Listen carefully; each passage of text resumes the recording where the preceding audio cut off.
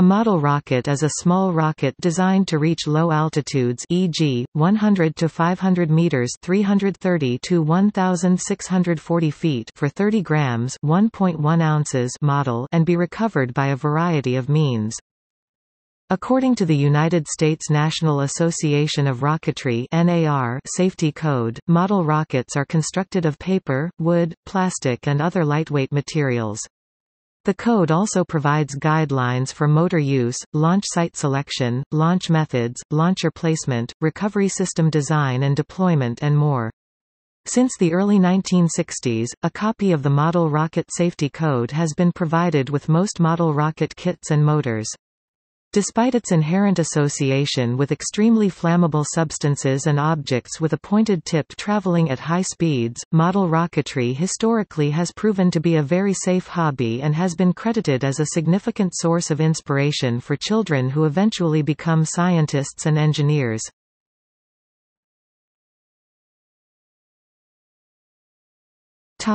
History of model rocketry In the early 13th century the Chinese turned black powder-propelled objects, formerly only used for entertainment, into weapons of war. The Chinese arrows of fire were fired from a sort of catapult launcher. The black powder was packed in a closed tube that had a hole in one end for escaping hot gases, and a long stick as an elementary stability and guidance system.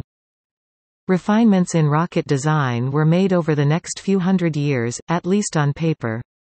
In 1591 a Belgian, Jean Beavy, described and sketched the important idea of multistage rockets. Multistaging, placing two or more pockets of fuel in line and firing them in step fashion, is the practical answer to the problem of escaping Earth's gravitational attraction.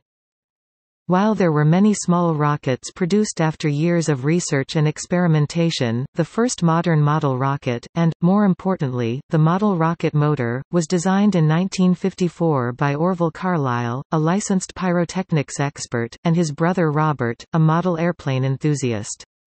They originally designed the motor and rocket for Robert to use in lectures on the principles of rocket-powered flight. But then Orville read articles written in Popular Mechanics by G. Harry Stine about the safety problems associated with young people trying to make their own rocket engines. With the launch of Sputnik, many young people were trying to build their own rocket motors, often with tragic results. Some of these attempts were dramatized in the fact-based movie October Sky. The Carlisles realized their motor design could be marketed and provide a safe outlet for a new hobby. They sent samples to Mr. Stine in January 1957. Stine, a range safety officer at White Sands Missile Range, built and flew the models, and then devised a safety handbook for the activity based on his experience at the range. The first American model rocket company was Model Missiles Incorporated MMI, in Denver, Colorado, opened by Stine and others. Stine had model rocket engines made by a local fireworks company recommended by Carlisle, but reliability and delivery problems forced Stine to approach others. Stine eventually approached Vernon Estes, the son of a local fireworks maker. Estes founded Estes Industries in 1958 in Denver, Colorado and developed a high-speed automated machine for manufacturing solid model rocket motors for MMI. The machine, nicknamed Mabel, made low-cost motors with great reliability, and did so in quantities much greater than Stine needed. Stine's business faltered and this enabled Estes to market the motors separately. Subsequently, he began marketing model rocket kits in 1960, and eventually, Estes dominated the market. Estes moved his company to Penrose, Colorado in 1961. Estes Industries was acquired by Damon Industries in 1970.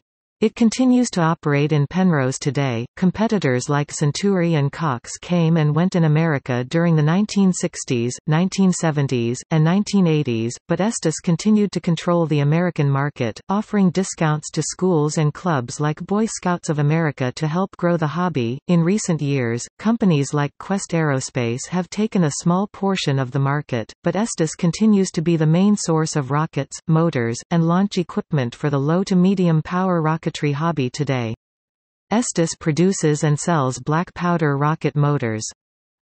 Since the advent of high-power rocketry, which began in the mid-1980s with the availability of G through J-class motors each letter designation has up to twice the energy of the one before, a number of companies have shared the market for larger and more powerful rockets.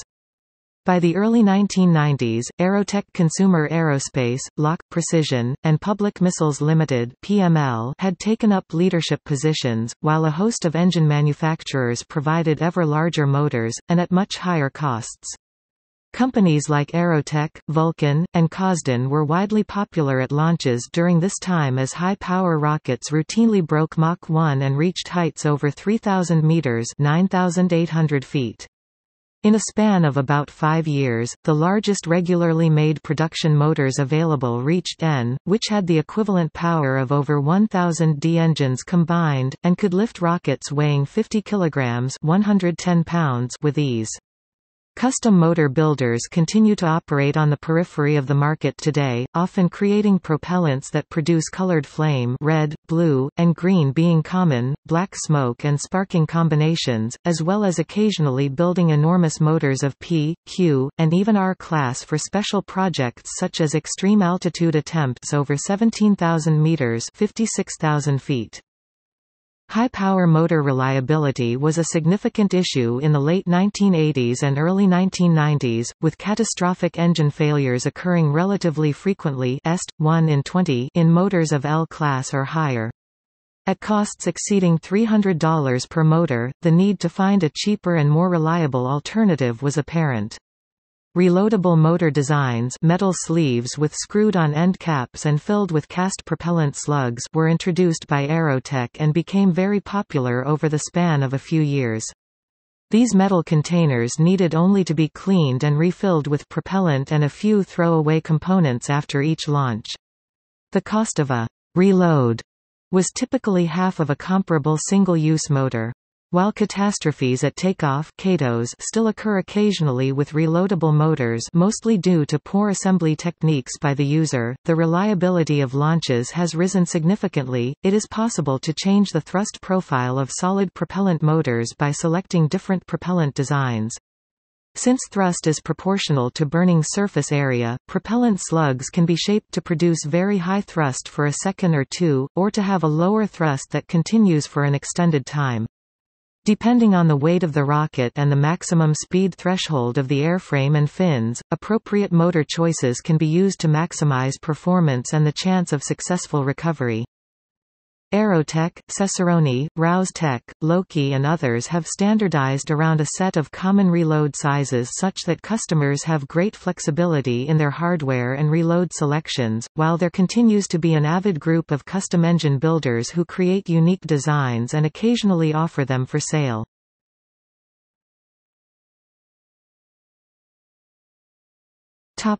Precautions and safety Model rocketry is a safe and widespread hobby. Individuals such as G. Harry Stine and Vernon Estes helped to ensure this by developing and publishing the NAR Model Rocket Safety Codes and by commercially producing safe, professionally designed and manufactured model rocket motors. The Safety Code is a list of guidelines and is only mandatory for National Association of Rocketry members.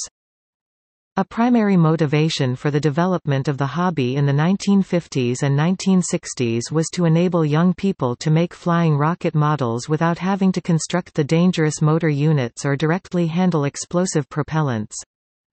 The NAR and the TRA successfully sued the U.S. Bureau of Alcohol, Tobacco, Firearms and Explosives BATFE over the classification of ammonium perchlorate composite propellant APCP, the most commonly used propellant in high-power rocket motors, as an explosive. The March 13, 2009 decision by D.C. District Court Judge Reggie Walton removed APCP from the list of regulated explosives, essentially eliminating BATFE regulation of hobby rocketry.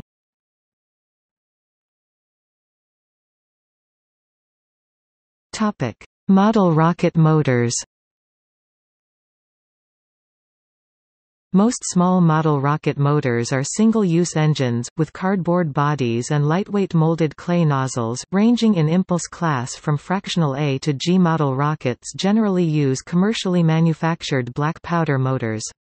These motors are tested and certified by the National Association of Rocketry, the Tripoli Rocketry Association or the Canadian Association of Rocketry CAR. Black powder motors come in impulse ranges from 1 8 A to E, although a few F black powder motors have been made. The physically largest black powder model rocket motors are typically E-class, as black powder is very brittle. If a large black powder motor is the upper stage motor of a rocket that exceeds the maximum recommended takeoff weight, or is dropped or exposed to many heating, cooling cycles e.g., in a closed vehicle exposed to high heat, the propellant charge may develop hairline fractures. These fractures increase the surface area of the propellant, so that when the motor is ignited, the propellant burns much faster and produces greater than normal internal chamber pressure inside the engine. This pressure may exceed the strength of the paper case and cause the motor to burst. A bursting motor can cause damage to the model rocket ranging from a simple ruptured motor tube or body tube to the violent ejection and occasionally ignition of the recovery system. Therefore, rocket motors with power ratings higher than D to E customarily use composite propellants made of ammonium perchlorate, aluminium powder and a rubbery binder substance contained in a hard plastic case. This type of propellant is similar to that used in the solid rocket boosters of the Space Shuttle and is not as fragile as black powder, increasing motor reliability and resistance to fractures in the propellant. These motors range in impulse from size D to O. Composite motors produce more impulse per unit weight specific impulse than do black powder motors. Reloadable composite propellant motors are also available.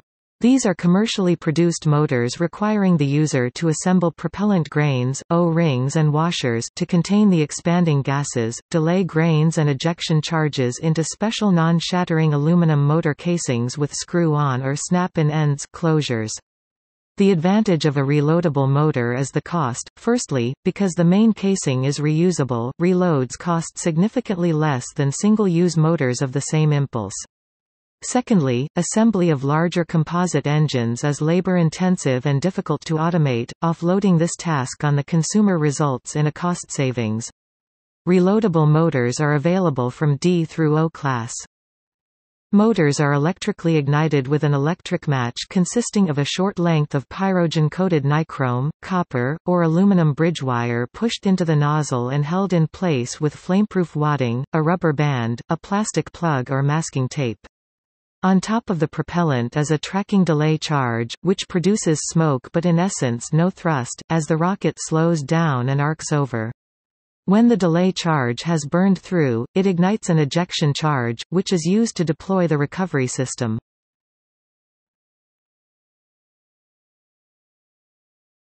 Topic: Performance.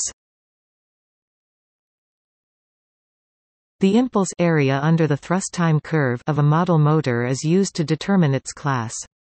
Motors are divided into classes from 1 quarter A to O and beyond.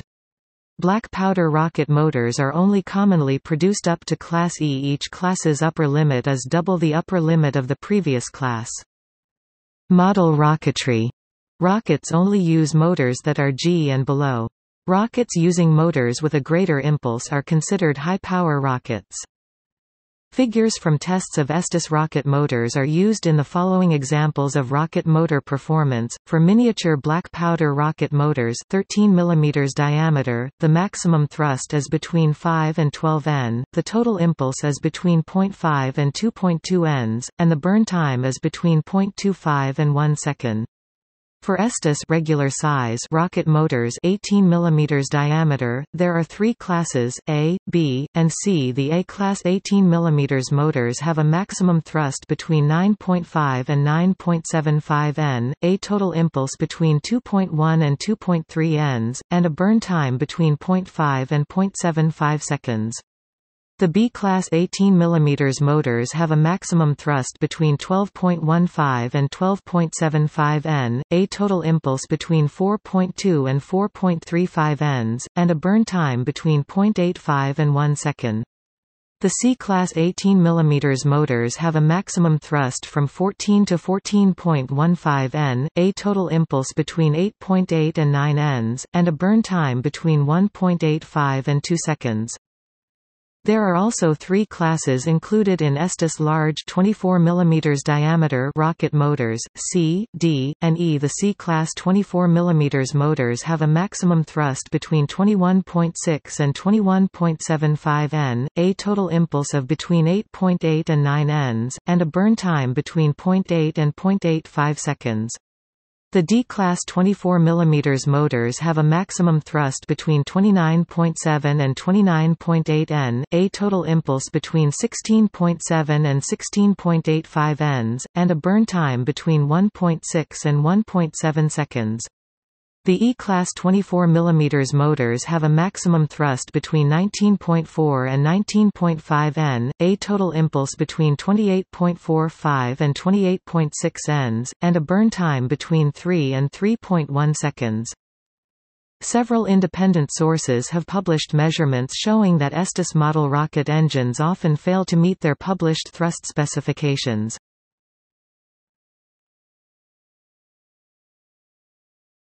Topic: Motor nomenclature. Model rocket motors produced by companies like Estes Industries, Centuri Engineering and Quest Aerospace are stamped with a code such as A103T or B6-4 that indicates several things about the motor. The Quest Micro-Max engines are the smallest at a diameter of 6 mm. The company Apogee Components made 10.5 mm micro motors, but those were discontinued in 2001. Estes manufactures size T tiny motors that are 13 mm in diameter by 45 mm long, while standard A, B and C motors are 18 mm in diameter by 70 mm long. Larger C, D, and E-class black powder motors are also available, they are 24 mm in diameter and either 70 C and D motors or 95 mm long E motors. Some motors, such as F and G single-use motors, are 29 mm in diameter. High-power motors usually reloadable are available in 38 mm, 54 mm, 75 mm, and 98 mm diameters.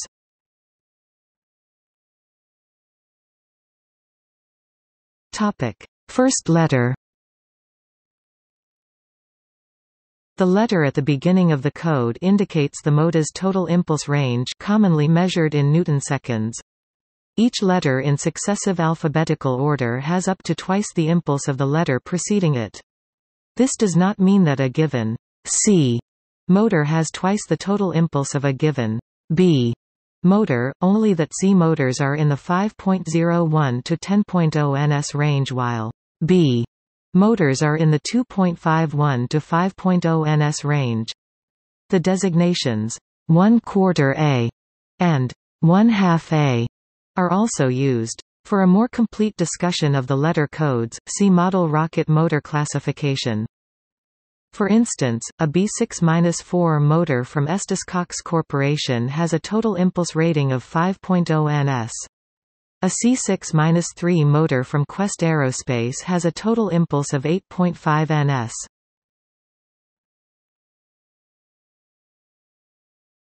Topic: First number. The number that comes after the letter indicates the motor's average thrust, measured in newtons. A higher thrust will result in higher liftoff acceleration, and can be used to launch a heavier model. Within the same letter class, a higher average thrust also implies a shorter burn time e.g., a B6 motor will not burn as long as, but will have more initial thrust than, a B4.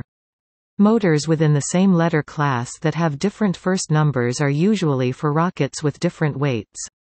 For example, a heavier rocket would require an engine with more initial thrust to get it off of the launch pad, whereas a lighter rocket would need less initial thrust and would sustain a longer burn, reaching higher altitudes.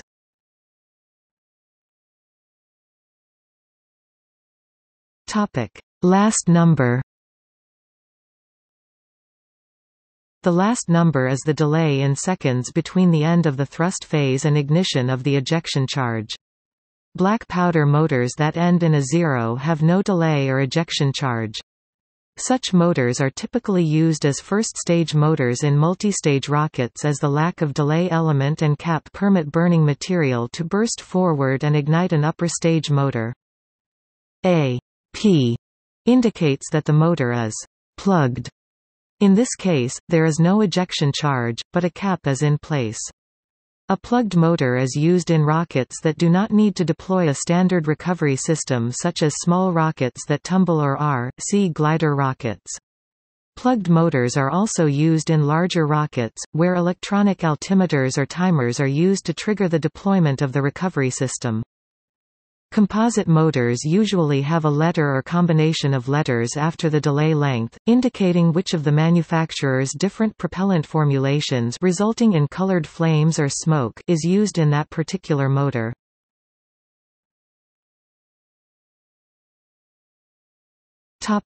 Reloadable motors Reloadable rocket motors are specified in the same manner as single-use model rocket motors as described above. However, they have an additional designation that specifies both the diameter and maximum total impulse of the motor casing in the form of diameter, impulse. After that, there is a series of letters indicating the propellant type. However, not all companies that produce reloadable motor systems use the same designations for their motors. An Aerotech Consumer Aerospace Reload designed for a 29 mm diameter case with a maximum total impulse of 60 Newton-seconds carries the designation 29 60ths in addition to its impulse specification. However, Cesaroni Technology Incorporated CTI motors use a different designation.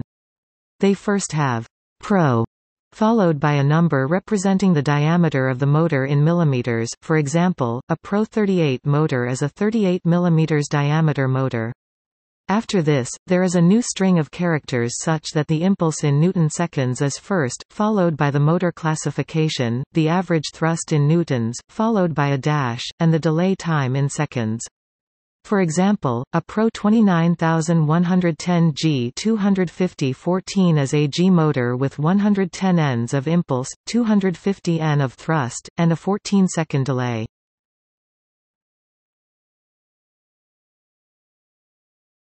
Topic: Model rocket recovery methods.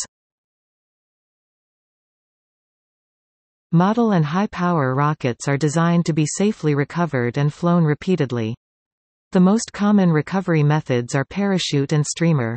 The parachute is usually blown out by the engine's ejection charge, which pops off the nose cone. The parachute is attached to the nose cone, making it pull the parachute out and make a soft landing.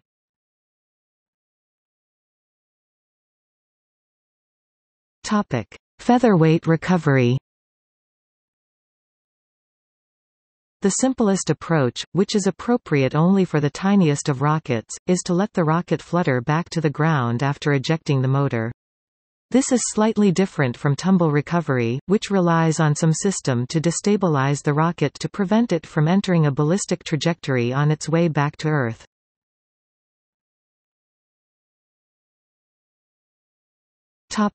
Tumble recovery Another simple approach appropriate for small rockets—or rockets with a large cross-sectional area—is to have the rocket tumble back to Earth. Any rocket that will enter a stable, ballistic trajectory as it falls is not safe to use with tumble recovery. To prevent this, some such rockets use the ejection charge to slide the engine to the rear of the rocket, moving the center of mass behind the center of pressure and thus making the rocket unstable.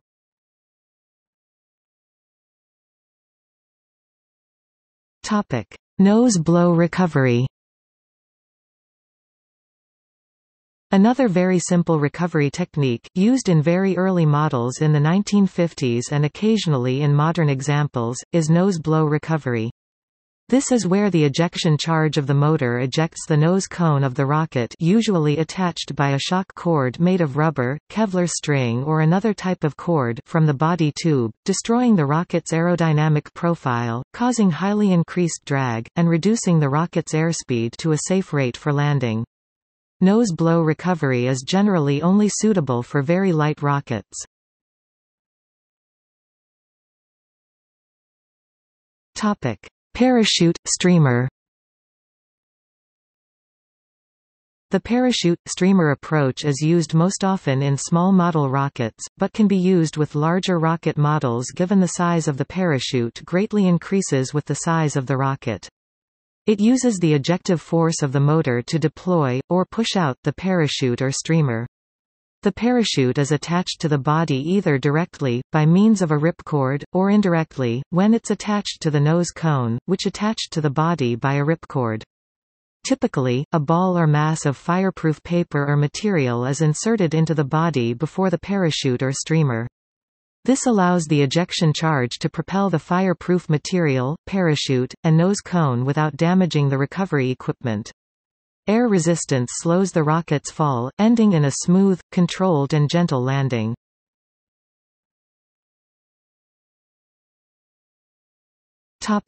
Glide recovery In glide recovery, the ejection charge either deploys an airfoil wing or separates a glider from the motor. If properly trimmed, the rocket glider will enter a spiral glide and return safely. In some cases, radio-controlled rocket gliders are flown back to the Earth by a pilot in much the way as R, C model airplanes are flown.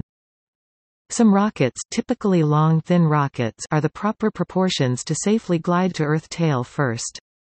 These are termed backsliders.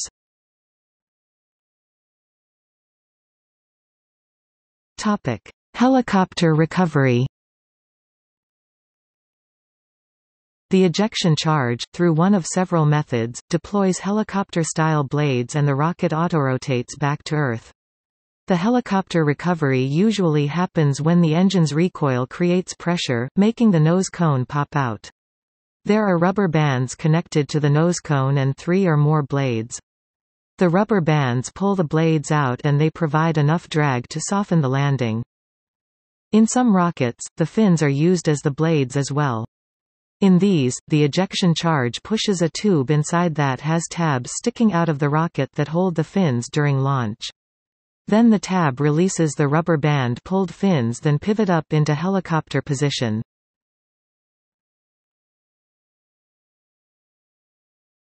Topic: Instrumentation.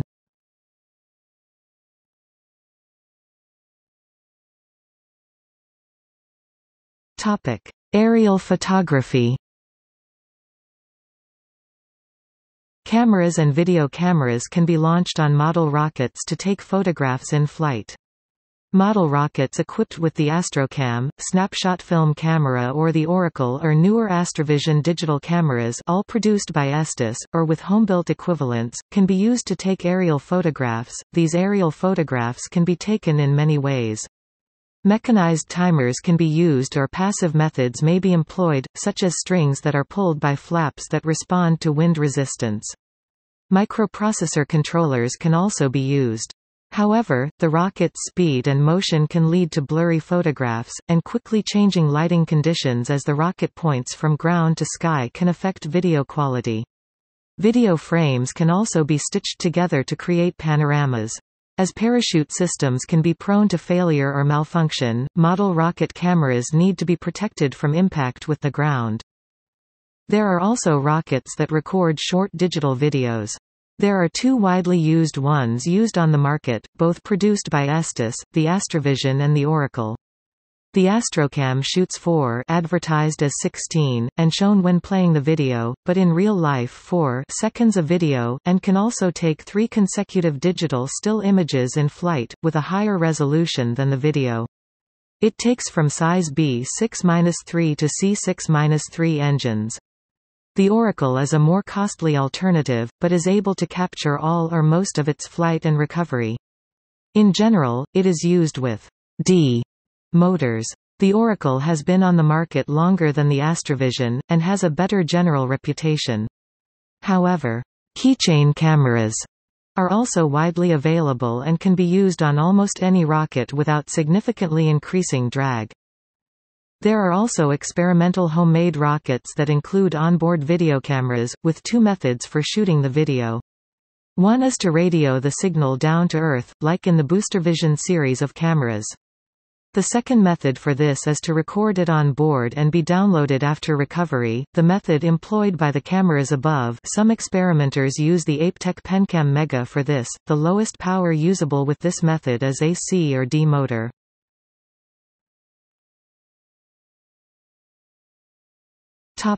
Instrumentation and experimentation Model rockets with electronic altimeters can report and or record electronic data such as maximum speed, acceleration, and altitude.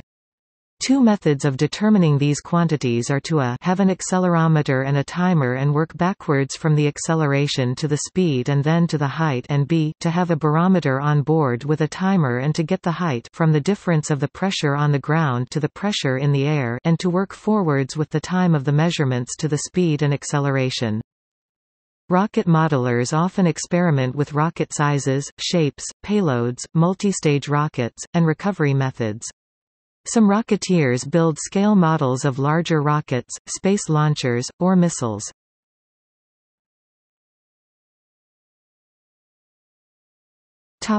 High-power rocketry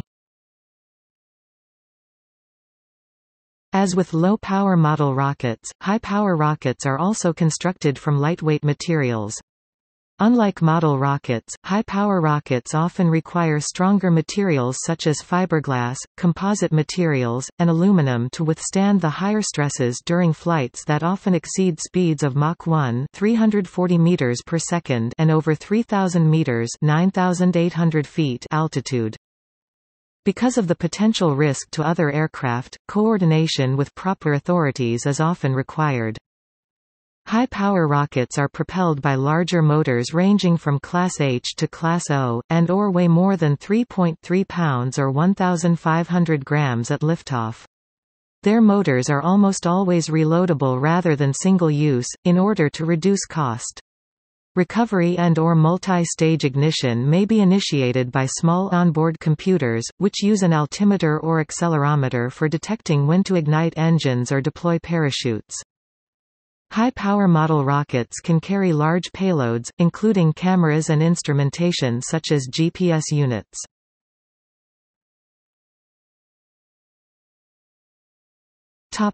Differences from model rocketry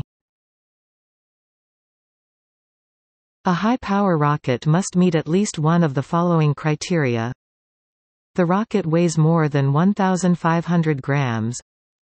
The motor used contains more than 125 grams of propellant. The motor used has an impulse of more than 160 newton-seconds is an H-class or above or uses multiple motors with a total impulse of more than 320 newton-seconds. Exact requirements vary from one jurisdiction to another.